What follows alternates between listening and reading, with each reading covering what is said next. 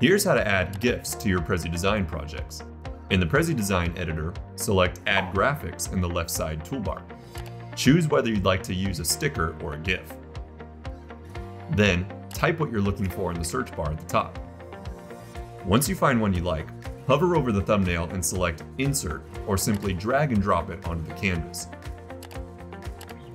You can then add some tweaks to it in the settings panel over here on the right.